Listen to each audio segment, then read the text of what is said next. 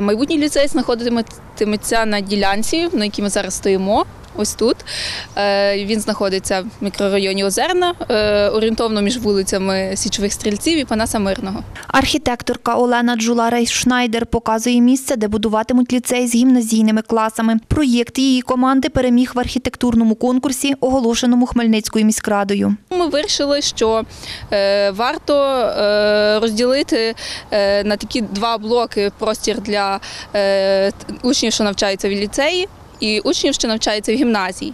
І вони об'єднані між собою е, спільними приміщеннями. Площа ділянки, яку виділило місто під будівництво ліцею 4,3 гектара. Заклад буде розрахований на 1440 учнів, каже заступник міського голови Микола Ваврищук. Це вже буде другий великий навчальний заклад. Я говорю про школи в цьому мікрорайоні, тому що одну школу ми здаємо в експлуатацію. Як зазначив Микола Ваврищук, початкову школу, яка вже майже готова, будували за гроші міста та області. Для нового ліцею планують залучити державні гроші. А Ми хочемо претендувати на частину державного фінансування. Як ми знаємо, фактично державний бюджет е, не долучався до будівництва школи на Озерної е, зараз. Лише обласний бюджет виділив 20 мільйонів гривень, а все інше будувалося за кошти міського е, бюджету. Будівництво закладу обійшлося місту в 150 мільйонів гривень, розповідає начальник фінансового управління Сергій Ямчук. За його словами, аби завершити школу, залучали також кредитні кошти. Залучили 60 мільйонів гривень під 11,9% річних на термін на 5 років.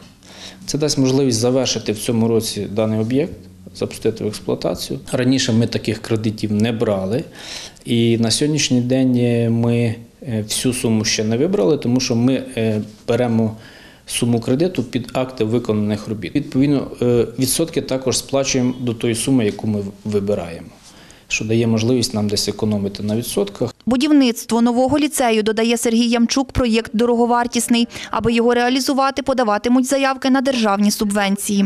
цілий ряд е, програм, які е, передбачають співфінансування. Це і програма Велике будівництво, це програма виділення коштів на соцекономічний розвиток регіонів, в які можна включати відповідні об'єкти. Виконавчий директор Асоціації об'єднаних територіальних громад Хмельницької області Сергій Яцковський пояснив, гроші від держави на будівництво навчального закладу місто може отримати після проходження конкурсу. Ну, зрозуміло, що вигідніше отримати субвенцію.